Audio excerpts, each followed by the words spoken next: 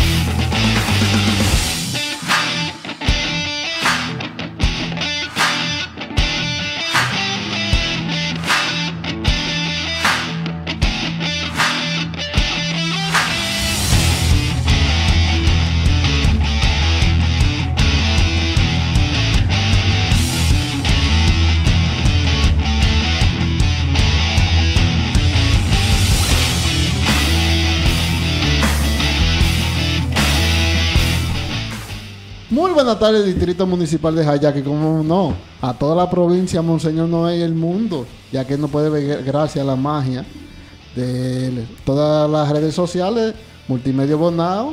Eh, estaremos también transmitiendo por YouTube, Facebook, todas las, todas las aplicaciones. Allá con los deportes, ya está en, la- en el aire y de inmediato le damos la bienvenida a nuestro compañero Mario Santa. Si es hermano, estamos aquí en Hayaco en los deportes. Estuvimos aquí en un tiempo, pero por razones de trabajo, pero siempre estamos aquí prestos. Nuestro compañero Junior Aracena, Carlos Junior Aracena, eh, tiene, uno, unos compromisos en estos No- días. No se encuentra por ahora. Así es, pero sé que nos está apoyando donde esté. Le agradecemos estar aquí. Vamos a conversar un poco hoy sobre NBA, sobre el mejor béisbol, el béisbol de las grandes ligas. También vamos a hablar sobre deporte local, las reinas del Caribe, y por qué no, en la provincia de Monseñor Noel, que se está celebrando el torneo de verano, Bonao y el equipo de los mineros, que volvieron a su nombre real, a sus raíces. También tenemos que hoy inicia el torneo superior con refuerzo, esperado torneo. El Ministerio de Deporte entrega unas instalaciones remozadas. Así que todo está listo para esta noche decir salto al centro. Y también en lo local, algunos torneos y actividades deportivas que se están celebrando. Y vamos a iniciar con la NBA, hermano. Eh, con la MLB. La MLB En la MLB hay un pelotero dominicano, Nelson Cruz, que con el bate justifica mantenerse en grandes ligas. Siempre se ha dicho y es muy sabido en los ambientes en los ambientes beisboleros donde eh, donde el que batea se mantiene y Nelson Cruz es la principal cara y la principal muestra de ello en las últimas temporadas primero en los Rangers de Texas luego se mantuvo algunos años con Minnesota y el hombre hermano es como el buen vino Así es, cada vez mucho mejor. Así es, el hombre lleva 31 cuadrangulares, tiene 83 remorcadas y un OPS como si tuviese sus mejores años, eh, por encima de los 860 puntos. Bateando 273, hermano, que es algo asombroso. Claro, porque nunca ha sido un bateador de promedio y este año lo está logrando. Eso indica que posiblemente el toretero dominicano Nelson Cruz consiga otro contrato incluso yo pienso que Nelson Cruz, con la falta de promedio que hay en las grandes ligas y de ese poder, promedio, poder, OPS, debería mantenerse todavía, yo no sé si estoy pidiendo mucho, pero dos años más. Así ¿Qué es. usted dice? Así es, y recordar que este jugador ya maduro, porque ya cuenta con unos 41 años de edad, eh, ha estado fuera varias veces, primero por una lesión, luego el COVID, señores, que lo afectó bastante, y como quiere este, este tremendo jugador, se mantiene a todo vapor ya con unas 31 jonrones. Así es. Por otro lado, hermano, importantísimo hablar de la puja que están teniendo, no solamente en el terreno de juego, sino que hay una puja mucho peor y quizás más grande fuera de los terrenos y es la de los fanáticos.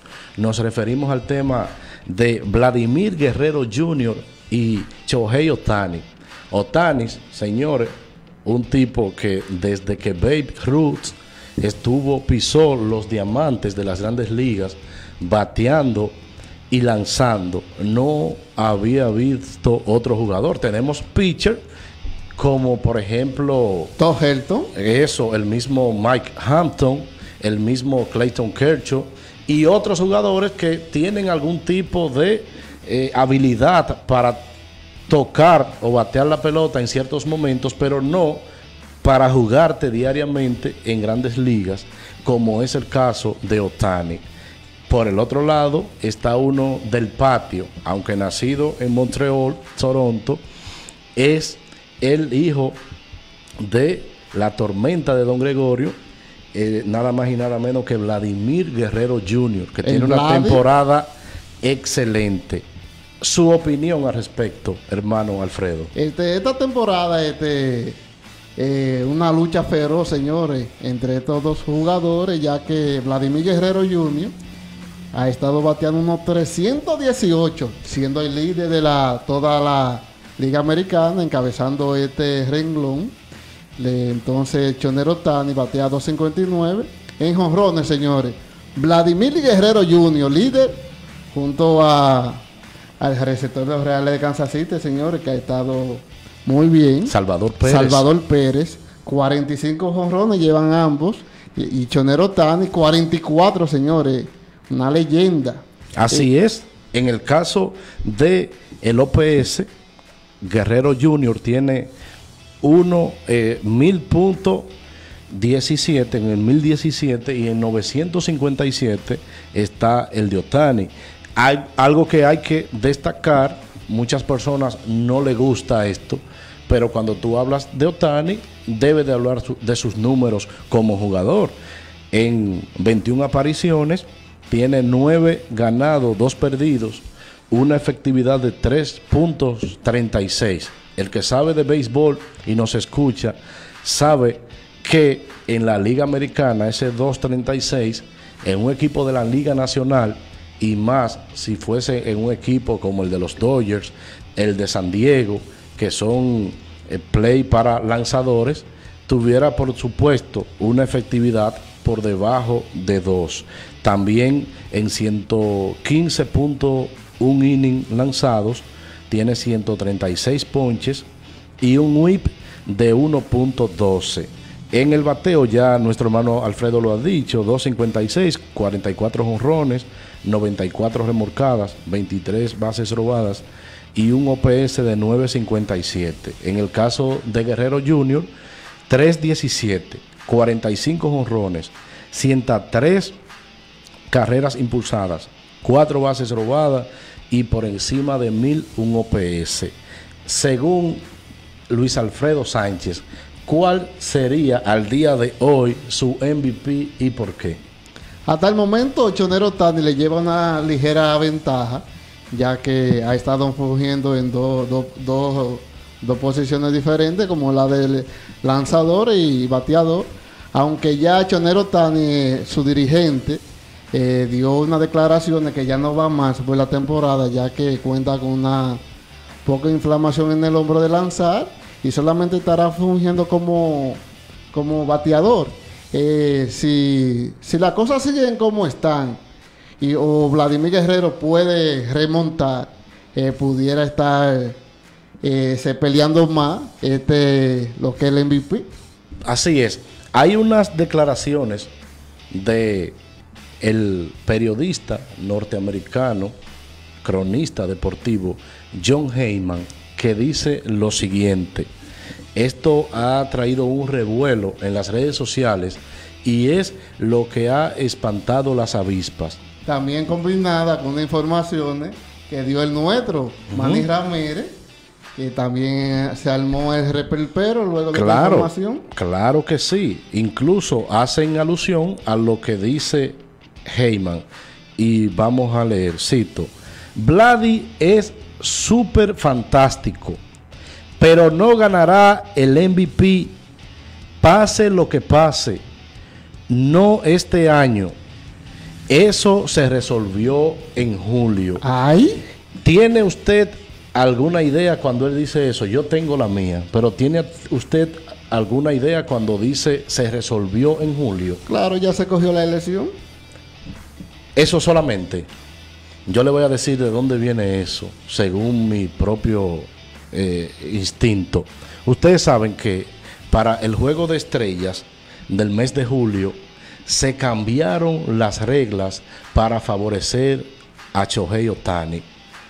El béisbol de las grandes ligas, que ustedes saben que creó un hace unos años un clásico mundial que no ha llenado del todo sus expectativas, ha querido ganar espacio fuera de territorio norteamericano y uno de los lugares principales es Oriente, específicamente Japón. en el área de Japón, China, pero específicamente allá.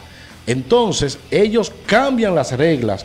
¿Cuál fue esa regla? Ustedes saben que cuando un lanzador entra a lanzar en la Liga Nacional, no puede jugar posición, pero ahí se hizo. Eso envió un metamensaje de cómo está la MLB y la Asociación de Cronistas de Béisbol de los Estados Unidos tan a favor de Otani. Aunque yo siento, yo siento que él lo hace en alusión a esto cuando dice que se resolvió en julio. Pero pienso que MLB no puede caer en la bajeza de hacer algo así y dos meses antes, casi tres meses antes de terminar la temporada, elegir algo que todavía no se sabe lo que vaya a ocurrir. Y más el béisbol, que con el problema, hermano, de los esteroides y todo lo que ha estado pasando, como le dije, está buscando la forma De, de, su- de subir, de subir para que los fanáticos vayan a los estadios. ¿Perdería la MLB un poco de sazón? ¿Y por qué si esto fuese así? Claro que sí, hermano. Eh, la MLB perdería un poco de credibilidad, ya que han estado eh, le- haciendo una elección que no era lo factible. Así ya es. que faltando tres meses, señores, es mucho lo que se puede se vea el caso de Chonero Tani. Ahora no puede lanzar más. Tenga usted que Vladimir Guerrero Jr. termine a todo vapor y le lleve muchos números por encima a Chonero Tani. Ahí se va, se va a delucir eh, este show. Así es. Por otro lado, ya bajando a la parte principal en la MLB, vamos a hablar un poco de las posiciones. Quedan uno- unos 18, 19 juegos a algunos equipos, lo que quiere decir que estamos en la curvita de la Paraguay. En cualquier momento salimos y vamos a iniciar con la Liga Americana. En la Liga Americana en, la, en el este, vamos a mencionar por lo menos los tres equipos Que que están- están, en pelea. Están luchando. Y hay otros que, divisiones que casi el último está en pelea. En el caso del este de la Liga Americana, el equipo de Tampa con 91 y 56 está liderando suavemente esta posición, quedando unos 18 juegos, como le habíamos dicho, y sabiendo que habrán jue- juegos entre ellos, entre jugadores, entre equipos de la misma división, lo que quiere decir que es casi una catástrofe que tenga que ocurrirle a Tampa e irle demasiado bien a otro de los equipos para eh, quedar encima de ellos. Pero en la pelota nada está escrito. Así es. Y en esa posición, señores, esta división pudiera verse tres, tres, tres equipos, señores, que pudieran entrar a, A la postemporada. a los playoffs, ya que pudieran comandar eh, la división y los dos comodines. Así es. El equipo de Toronto está en segundo lugar. Toronto ha hecho un sprint. Quienes saben un poco de atletismo saben a qué me refiero. En la recta final, cuando se pensaba hace unas dos semanas o menos de dos semanas, el equipo de Toronto estaba alrededor de 12, 13 juegos por debajo del equipo de Boston y, lo- y los Yankees. Y ya están comandando. Así es. Y el equipo de los Yankees está a la inversa. Luego de ganar unos 13 juegos seguidos, ahora lleva al día de hoy 4 y 6 en los últimos 10 y uno perdido es su racha. Así que yo pienso que esta división ese ya lo que ocurra será por los comodines. Así es. Ya Si la temporada pasa eh, hoy, los Yankees quedan fuera. Así mismo es. Por el otro lado, en la central de la misma liga americana tenemos el equipo de White Sox. Ustedes saben que el equipo de White Sox no es que ha tenido una buena temporada, vamos a ser sinceros. Aunque tienen el equipo para tener esa gran temporada, claro que sí. Sino la debacle del equipo de Cleveland. Ustedes saben que Cleveland no se armó como debió. Y salió de prácticamente de sus mejores jugadores. Así es. Bieber, excelente. Sean Bieber eh, salió por lección, ha estado en altas y bajas esta temporada y aún así están a 11 juegos, ya casi un imposible el equipo de Cleveland, lo mismo que el equipo de Detroit. Yo siempre he dicho, si Detroit, escuchen que le digo esto, en la temporada de cambio hubiese buscado algo, hubiese estado cerca de Yankees y esos equipos luchando ese comodín, Ese con comodín. ese equipo diezmado que han tenido. Así que esta división, yo creo, hermano, que ha sido la más, eh, la peor, la Sí, división central de la americana, todo el mundo con récord eh, negativo, por debajo de 500, solamente el equipo de White Sox. Y por el otro lado, tenemos en el oeste de la nacional, de la americana, Houston comandando. Un equipo de Houston, señores, que ha estado sumamente bien, ya que cuenta con 70, y una 86 victorias, señor, y 60 derrotas. Así es. Está el equipo del Atlético de Oakland a 7 partidos. y 7 y 3 de los últimos 10, mientras el equipo de Oakland está detrás de ellos. Entonces, en el comodín, hermano, de la Liga Americana, el equipo de Toronto y Boston están empatados. Pero escuchen esto, el equipo de los Yankees a medio juego y Oakland, que nunca usted puede descartar, el equipo de Oakland está a tres juegos. Su percepción, hermano, en esta recta final, según la profundidad que tiene Yankees, Boston y Oakland, según Alfredo Sánchez, ¿quiénes, ¿cuáles son los dos equipos que se quedan en la postemporada por el juego de comodines?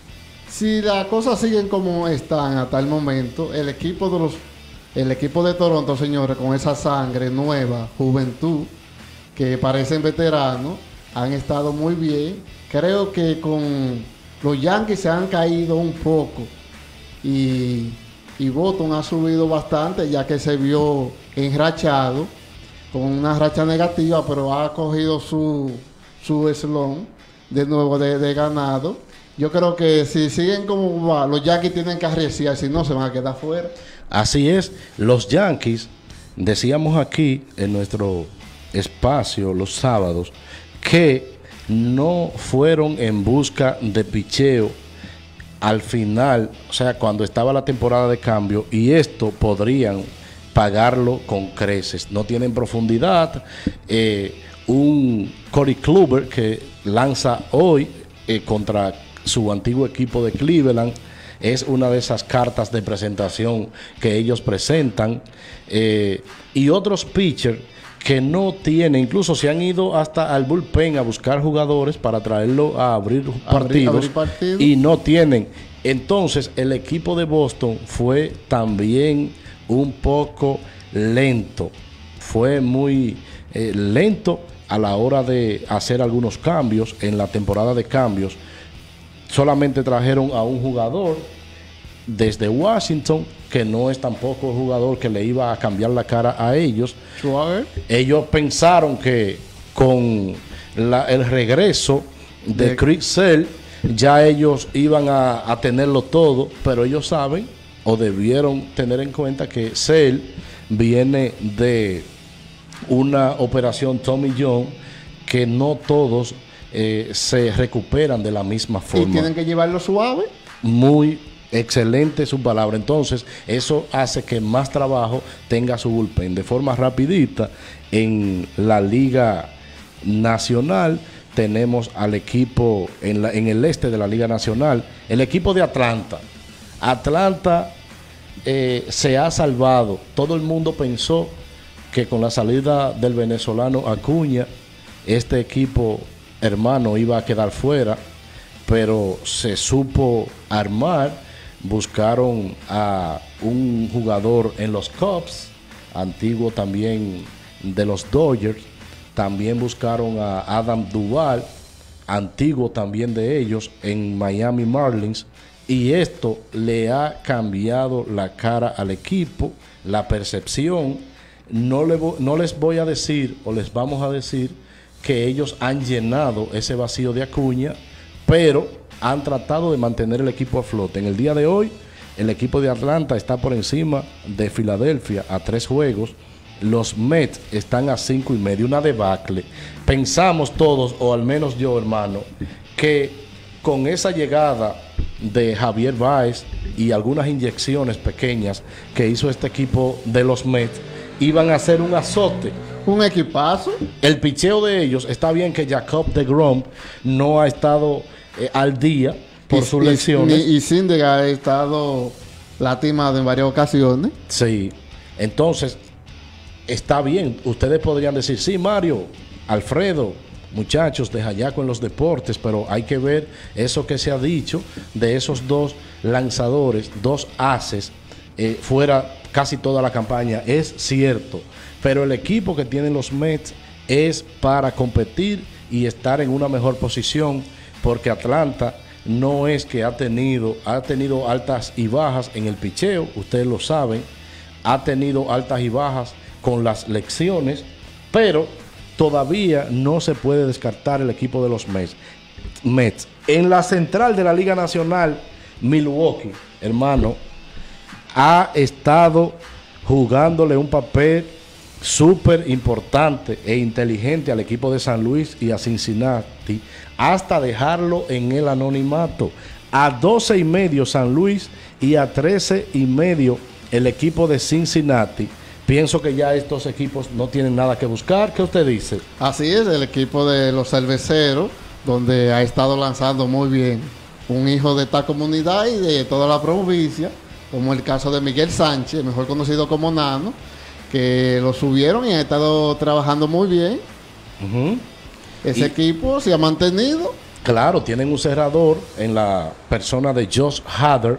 Ese tipo cuando se sube a la lomita no hay para nadie. Líder de Salvado. El dominicano, hay un dominicano que ahora está lesionado, que llegó desde Tampas, que ha tenido un resurgir tremendísimo. Le cayó como anillo al dedo, Al dedo. haber llegado a este equipo. Todo el que ha llegado, hay dos equipos que todo le ha estado saliendo bien en las grandes ligas, que es el equipo de San Francisco, el cual vamos a mencionar detenidamente en unos minutos o segundos, y el equipo de Milwaukee, dos equipos que si todo le sigue saliendo así, aunque en mi caso soy un fanático impedernido de los Dodgers de Los Ángeles, pero San Francisco y Milwaukee deberían ser los dos equipos que estén jugando esa serie de campeonato en la Liga Nacional. Y final- finalmente, hablando de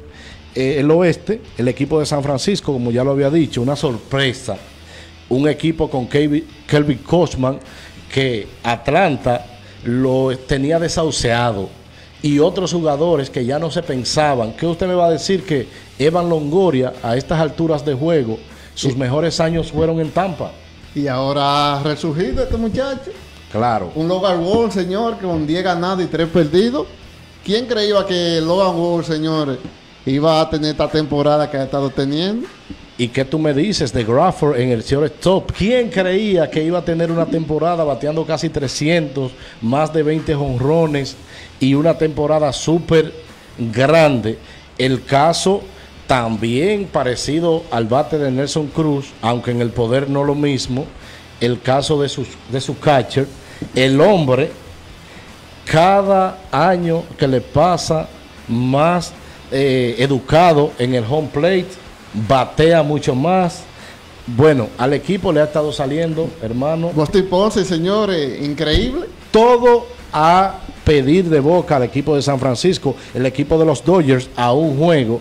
Cuando usted tiene un equipo que lo tiene todo, es lo que ocurre con los Dodgers. Los Dodgers ahora mismo eh, tienen Clayton Kershaw, entró la semana pasada, esta, esta misma semana, día 13 a lanzar, pero tenía varios juegos que no lanzaba. Su picheo ha sido un en altos y bajos. Ahora bien, su, eh, sus cambios que hicieron en el receso para el juego de estrella, en el receso de temporada, fue espectacular. Traer a Mars Scherzer, un tipo que es un verdadero as, también como el vino, mientras le pasan los años mucho mejor. Ha ganado unos 12 partidos luego que llegó a, este conjunto de los Dodgers, señores. El tipo está durísimo. Entonces, en el caso de Trey Turner, que aunque usted lo ve delgadito, pequeño, el tipo llega desde Washington, ha habido que dejarle, han inventado con él de primero, de segundo, pero ha habido que darle el tercer bate. Eh, ha habido que cambiar a Mocky Bates a primer bate para dejarlo a él. El tipo mete mano con su bate y nos referimos a Trey Turner, top y ha sido trasladado a la segunda base porque ahí tienen a Corey Seager que se ha ganado que lo tengan ahí hermano. ¿Qué usted cree? Dodgers, San Francisco, ¿quién se queda con esa posición y por qué? Una lucha feroz, señores. Los Dodgers, un equipazo. En el papel ya cuentan con cuatro de los mejores lanzadores de todas las grandes ligas. Para mí, como están las cosas, si los Dodgers no, no, no una lesión o algo, creo que los Dodgers pudieran estar llevándose esta, esta, esta división.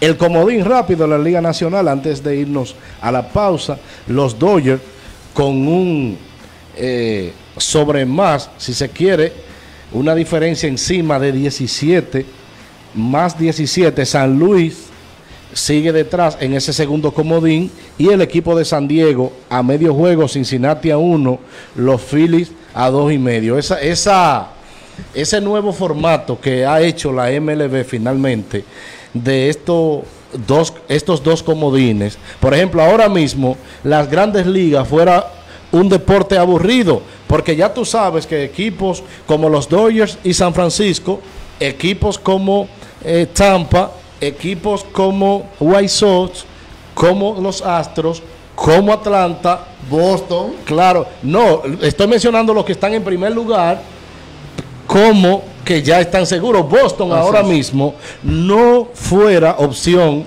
de ganar si no existiera el segundo comodín. ¿Por qué te lo digo? Porque a Boston hay que pasarle por encima ahora mismo. A Toronto. dos equipos tienen que pasarle por encima para dejarlo fuera. Pero anteriormente no. Anteriormente con un resbalón ya el equipo de Boston iba a quedar afuera. Así es. Finalmente, el favorito de Alfredo Sánchez para quedarse este año con la Serie Mundial. Ay, cha, cha, los señores. Tremendo equipo. Yo me inclino por los Dodgers.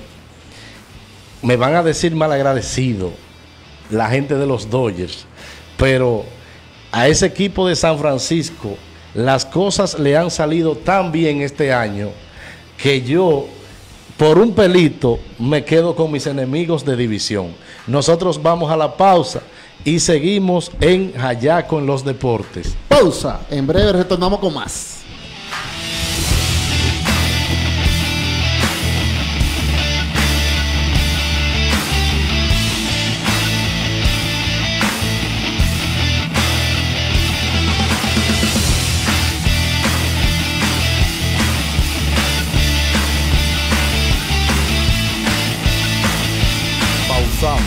Esto es Hayaco en los deportes. El sazón de Mamá Telva. Disfruta de un sabroso plato de lunes a sábado de 3 de la tarde a 11 y media de la noche. Y los domingos tenemos el plato del día desde las 8 de la mañana a 11 y media de la noche. El sazón de Mamá Telva. Visítanos en la autopista Duarte, kilómetro 90, Pueblo Nuevo, La Ceiba. Información 809-601-2477. Síguenos en las redes sociales como el sazón de Mamá Telva. Ayuntamiento del Distrito Municipal de Hayaco La Ceiba, trabajando por un mejor distrito con Willy Céspedes. Hayaco avanza. Puertas y Ventanas El Papa. Con servicios de puertas, ventanas, plafón, gabinetes, cortinas de baño y mucho más. Puertas y Ventanas El Papa. De Giancarlos Ferreira Estrella, propietario. Puertas y Ventanas El Papa. Con teléfonos 829-339-1496 y 829-207-8539. Estamos ubicados en la entrada de Magía, Caño Piedra. Puertas y Ventanas Super El Mateo. Papa. Movimiento Municipal. Super Colmado Mateo. Venta de cerveza al por mayor y al detalle. Servicio a domicilio totalmente gratis. Llámanos 809-457-0845. Ah, y también somos Carguas para poner tu vehículo nuevecito en Super Colmado Mateo. Estamos ubicados en la calle de los Cauchos. Omar Madera, apoyando el deporte y todas las comunidades. Omar Madera, regidor, distrito municipal, Hayaco La Ceiba, 2020-2024. Movimiento Munícipe de Hayaco por el cambio. Juan Rodríguez, siempre presente.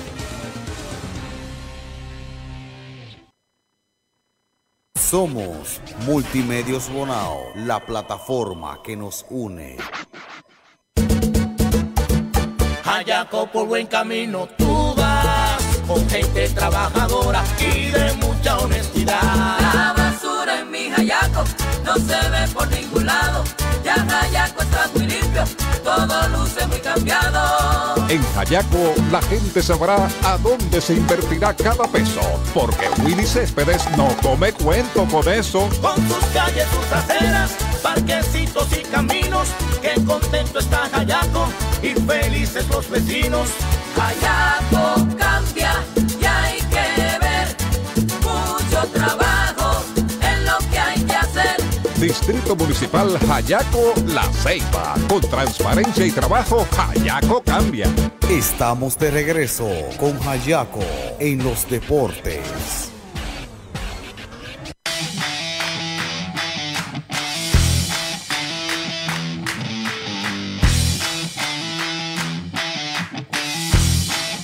Andamos con el toque de queda del fin de semana allá con los deportes. Sigan las informaciones deportivas. Así es, hermano. Vamos a hablar un poco de NBA y el baloncesto local de Monseñor Noel. En la NBA hoy salió un ranking de los cinco veteranos de mayor edad en la NBA. Se van a sorprender con el número 2. En el número 1 tenemos a Paul Millsap de los Nets de Brooklyn. Mipsa inició en el 2016, ya cuenta con 36 años de edad. Está dando lo último. Recuerdo que sus mejores años fueron en los Hawks de Atlanta, donde era eh, junto a Joe Johnson los la cara de este equipo de Atlanta hace unos seis años atrás, donde Atlanta iba a los playoffs, también estaba ahí el dominicano All Holford.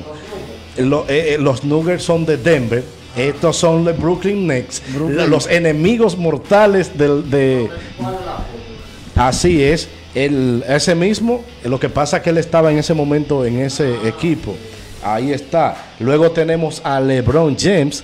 LeBron con 37 años de edad es uno de los jugadores de mayor edad en la NBA. Ustedes saben que la NBA es el deporte más rápido que hay, el deporte más atlético, aunque ustedes es. no lo crean. Entonces, nos cansamos, o sea, nos acostumbramos a ver a un LeBron James, el tipo, el joven, el que hace, como dicen en mi campo, las piruetas, la vaina, los malabares, pero ya no. Ya eso, Ya- eso lo ha ido mermando. Claro, son 37 que tiene. Ya el tipo hasta para subirse a la cama hay que pensarlo ya. Entonces, dígamelo a mí que ando por ahí. Eh, Carmelo Anthony. Carmelo Anthony, un tipo que es una estrella. Pero ¿qué pasa? Su comportamiento, su forma, hermano, Lo ha sacado mucho de la NBA. de contexto, como decimos, también 37 años.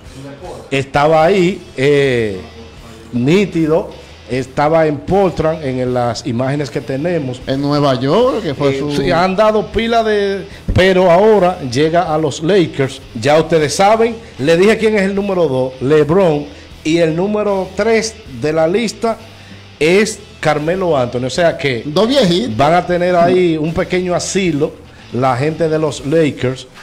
También tenemos a André Iguodala. Iguodala, un tipo que lo vimos en los Golden State Warriors por mucho tiempo. Ganó dos anillos por allá. No, el director sabe, lo ha visto tanto brillando ahí, saliendo desde la banca en Golden State, donde fueron sus mejores años Así es.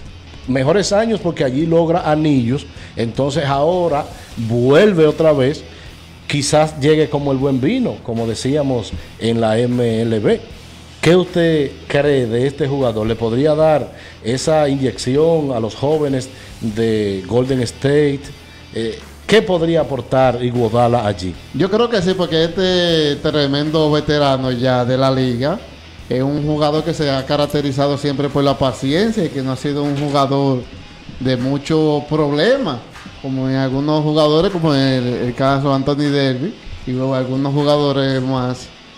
Este, yo creo que André Guadala pudiera hacer un buen papel, ya que pudiera venir saliendo de la banca, ya que este muchacho, este jugador ya viniendo de la banca pudiera hacer un buen papel, más dándole un poco de mensaje a estos muchachos. Hermano, la suerte, como dicen por ahí, es lo más importante cuando tú la tienes. Escuche esto. El de mayor edad, Adonis Haslem, del equipo de los Heat de Miami, ya tiene 19 temporadas. Pero escuchen bien, en las últimas 5 temporadas, ha, solamente ha jugado 45 partidos. Escúchenme bien. 45 partidos en las últimas cinco temporadas. Entonces, ya ustedes vieron los más viejos en la NBA: eh, Paul Millsap, LeBron James, Carmelo Anthony, Andrés Iguodala y Adonis Haslem. Entonces, tenemos la llamada por ahí. eh, sí. Así es. Osiris, buenas tardes. Buenas tardes, hermano.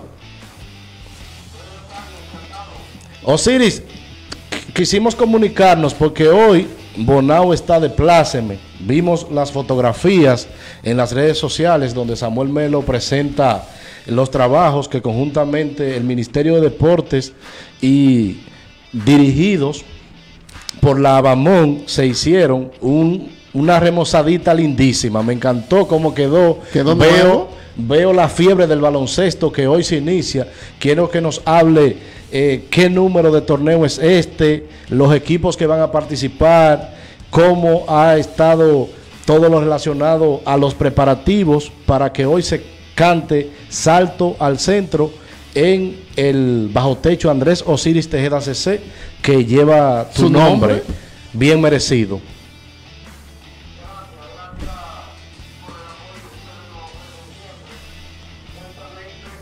Y felizmente gracias a la bendición de Dios, vamos a dar apertura a nuestro décimo octavo torneo de baloncesto superior con refuerzo de Bonao.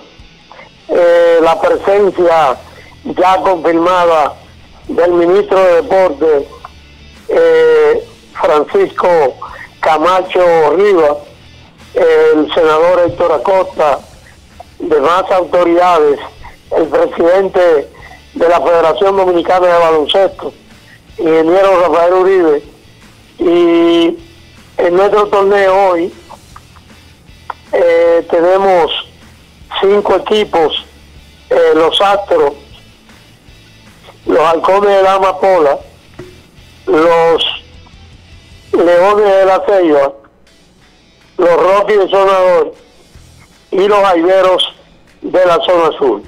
Empezamos desde hoy jugando viernes y sábado a las 7 y 9 de la noche, los domingos a las 5 y 7 de la noche, hasta el 30 de octubre, Dios mediante. Se va a disputar la Copa en Dalplamé y eh, los trabajos del multiuso se han concluido satisfactoriamente. Un gran trabajo eh, de apoyo dispuesto por el ministro de Deportes y agradecer también el apoyo de Samuel Melo en los trabajos aquí colaterales y la gestión exitosa del senador Héctor Acosta para el cambio de la iluminación y todos los trabajos que tenemos ahí. Osiris. Concomitante, concomitantemente con esto, se va a dejar inaugurada la, los pisos sintéticos y canastos hidráulicos FIBA eh, de Maimón y Piedra Blanca. Excelente. Osiris. Osiris. Dígame. Las condiciones en que quedó el bajo techo y las inversiones, más o menos a cuánto ascienden por parte del Ministerio de Deportes y cuáles fueron las cosas que necesitaron más arreglo. Bueno, ahí se colocó eh, un tabloncillo en madera americana Malve, valorado en 6 millones 500 mil pesos. Se pintó el, el, eh, el edificio por dentro, arriba la estructura metálica, eh, afuera. Eh, se está haciendo esos trabajos pagos por el Ministerio de Deportes eh, a través de la Federación Dominicana de Baloncesto. La otra parte, la reparación de, de pizarra, relojes de 24 segundos, control de mando y otras partes eléctricas, eh, ha tenido que ser asumida por la Asociación de Baloncesto de Monseñor Noel con una inversión de más de 150 mil pesos, eh, pero esto lo hicimos nosotros porque tenemos la responsabilidad de que nuestro torneo esté eh, totalmente preparado al momento de iniciarse. También aportamos para reparación de baños, para reparación de goteras y para algunas cosas que faltaban ahí, para no dejarle todo el problema al Estado Dominicano. Osiris, ¿me escuchas? Tu descripción, el significado de Plamet y el doctor Alexis Mármol, ah, Mármol para este torneo, ¿cómo lo describe de forma simple? El doctor Alexis Malmo es un gran deportista, es un, es un gran ciudadano, ha sido un gran colaborador del deporte en general, pero del baloncesto es un gran padrino, porque él ama el baloncesto. Y indudablemente que aquí no tenemos dos empresarios como Alexis Malmo, sincero, sencillo, que ha ido creciendo en su negocio, pero un gran pero muy buen trabajador. Y nosotros le demos un gran afecto, porque él es de baloncesto.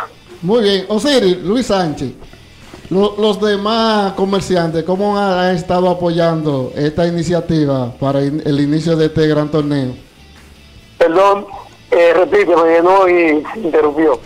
Los demás, los demás comerciantes, ¿cómo han estado apoyando a- al comité para este inicio de este gran torneo? Bueno, a los equipos, eh, los eh, cada equipo tiene patrocinadores particulares.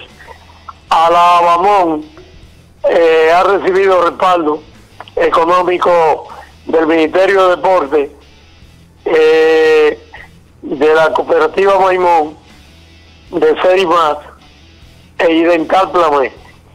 Eh, esos son los que hasta el momento podrán entrar algunos otros, porque nosotros recuerden que tendremos transmisión a través de Ababón RD digi- eh, oficial, las redes sociales, vamos a estar transmitiendo con tres cámaras eh, profesionales, con un mezclador, con una edición, eh, con un dron dentro del multiuso y con todo un equipo de prensa. Eh, Osiris, Este año va, este año vamos por lo alto. Osiris, hay algo que quiero eh, de- por esta vía felicitarte y quisiera que este año no sea la excepción y es que donde tú siempre estás desde niño hago actividades cercano a ti es la seguridad. Este año viene nuevamente la seguridad de la Policía Nacional para que las personas puedan ir hasta con sus niños, familiares, a participar de los juegos. Finalmente nos gustaría que nos hable de la seguridad en el evento. Sí, eh, la Bamón celebró eh, reuniones varias con el coronel Lebrón, con el teniente coronel Smith eh, de la Policía Nacional, por instrucciones del, del director regional Cibao Sur, para conformar el dispositivo de seguridad. Habrá seguridad dentro, fuera, en el parqueo y en todo el entorno del multiuso, en todos los partidos del evento, en la hora antes y, y después de concluido. O sea, por otra parte, nosotros eh, como asociación eh, pagamos una seguridad privada también que está en el multiuso para garantizar la estabilidad de todo lo que se mueve dentro. O sea que estamos debidamente preparados. Así es. Gracias Osiris. Y hoy, ¿desde qué hora estarán Osiris allá ustedes? Eh, la apertura formal es a las 6 de la tarde. Ya hay todo un movimiento en el, en el multiuso. Gente colocando vallas, eh, limpieza, organizando para que todo quede un éxito, esperando la puntualidad de las autoridades, porque tenemos que iniciar eh, la ceremonia, porque los invitados tienen otros compromisos y hay doble juego después de la ceremonia inaugural.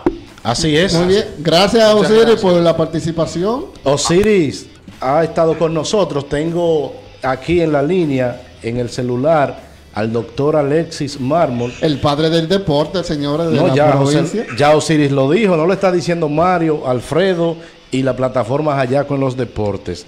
Lo dijo Osiris Tejeda, que es el padre del baloncesto, y dice que Alexis Mármol es el padrino del baloncesto en la provincia de Monseñor Noel. Y del deporte. Doctor, buenas tardes. Bienvenidos allá con los deportes.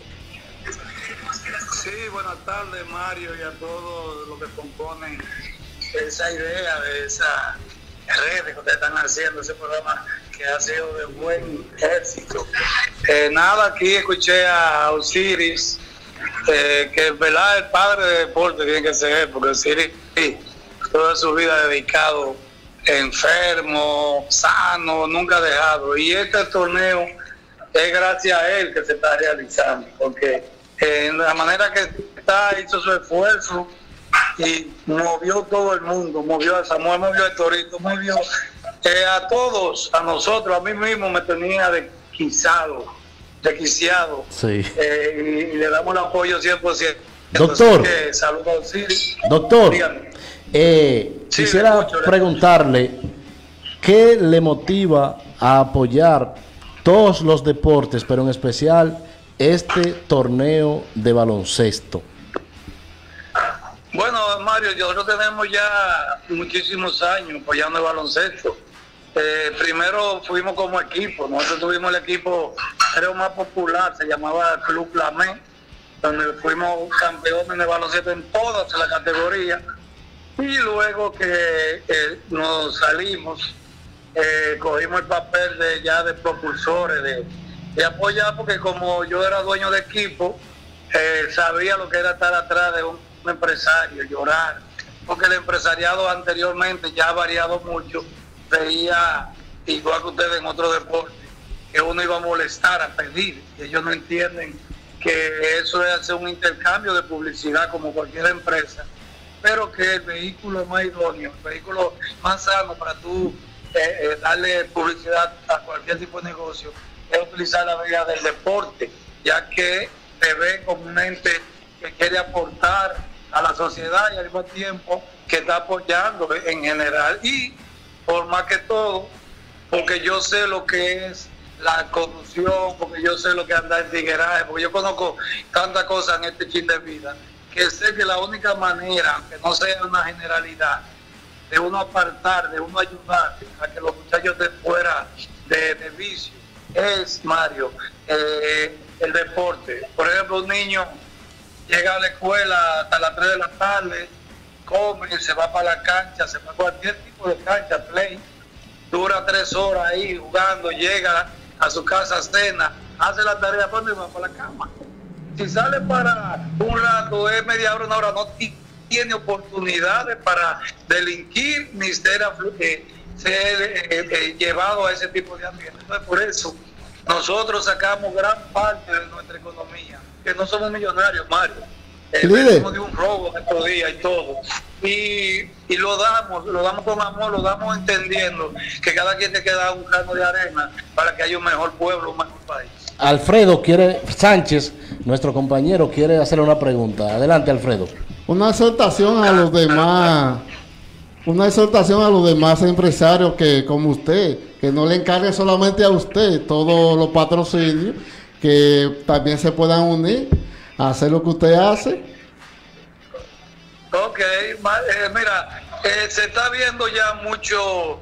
Yo vi el listado de, de los muchachos de, de Sonador y tienen muchos patrocinadores, igual los demás. Creo que el empresariado ya, como ya vienen siendo muchachos, mu- muchachos más jóvenes, se están integrando y ya hacen un apoyo. No, yo estoy loco que me quiten el reinado, porque me da un alivio, pero al mismo tiempo significa que lo que yo estoy diciendo llega. Pero sí, yo veo como que están apoyando más. Sí quiero que al comité organizador eh, que apoyen los empresarios también más a Osiris, que se lleva esa tarea grande y yo tengo que estar siempre metiendo la mano. Yo tengo la, la ganancia de que soy el, el- la, en la copa de esta muchachos, se juega. O sea que yo soy un patrocinador tanto del torneo como de los equipos. Yo repartí eh, la misma cantidad que me robaron, 150 mil pesos entre los cinco equipos y eh, eh, también aporto a la copa el Ciri me da la oportunidad de yo poder repartir el dinero en los dos lados. O sea, Ciri no me sigue con, como si fuera un empresario cualquiera. El patrocinador oficial. ¿Eh? El patrocinador oficial, dice Alfredo. Bueno, eh, somos uno de los primeros porque también Serimat, que lo está haciendo muy bien, está apoyando mucho. Tú sabes, una empresa más, más millonaria, más muy diferente de nosotros, pero Luisito Castillo, que casualmente a él que le vamos a dedicar el torneo, se ha dedicado a mejorar toda la cancha de la provincia con materiales de calidad, le da los útiles cuando se acaban. O sea, tiene un poder que quisiera yo tenerlo para también eh, seguirlo por ese lado, pero si él es el que está bendecido para hacerlo, yo lo que hago es apoyarlo y decirlo para que no haya egoísmo, contrario, quiero que más se vayan sumando y no me dejen esta tarea a mí solito. Así que Así es. exhortamos, exhortamos a, la- a los empresarios, que eso no cuesta nada, mira, eh, muchachos. Cada vez que ustedes eh, que amparan un delincuente, ¿tú sabes qué significa eso?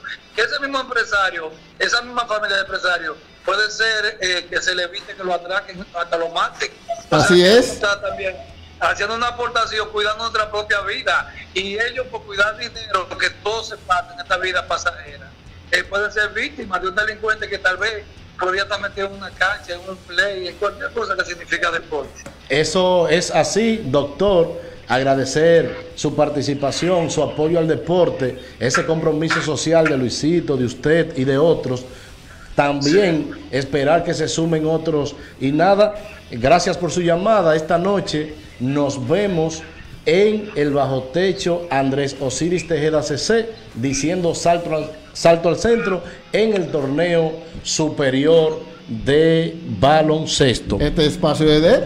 Claro, eso es así. Nosotros, a modo ya de finalizar, también en Bonao se está celebrando el torneo, la Liga de Verano. El equipo de los mineros, como decíamos al principio, está participando. Eh, tienen, el equipo nuestro tiene 0 y 2. Esperamos que esta semana, con ese material, eh, peloteros hasta con experiencia de grandes ligas que tenemos. Sí, creo que vamos a, a tener un mejor papel. Osiris Tejeda CC ha hablado ya del baloncesto. Nos hubiese gustado hablar un poco con Quique Sosa, pero quizás ¿Será en la próxima? La próxima semana estemos. Y nada, este ha sido nuestro, nuestra participación aquí hoy. Alfredo ya tendrá unas palabras finales para ustedes. Bueno, señores, la situación final eh, a todas las personas que siguen este espacio, como todos los viernes allá con los deportes, que será el próximo viernes cuando nos reencontremos con el toque de queda del fin de semana. Hayaco en los deportes. Llévatelo, Kevin.